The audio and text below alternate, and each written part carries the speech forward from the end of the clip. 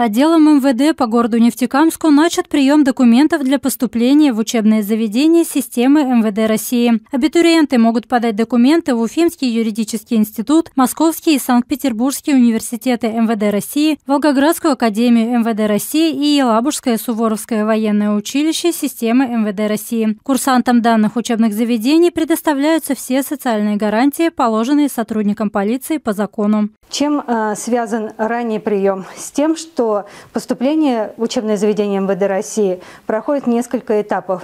Это различные проверки, прохождение военно-врачебной комиссии и сдача норм по физической подготовке. Ответы на свои вопросы можно получить, позвонив по телефону 21305 в отделение по работе с личным составом отдела МВД России по городу Нефтекамску.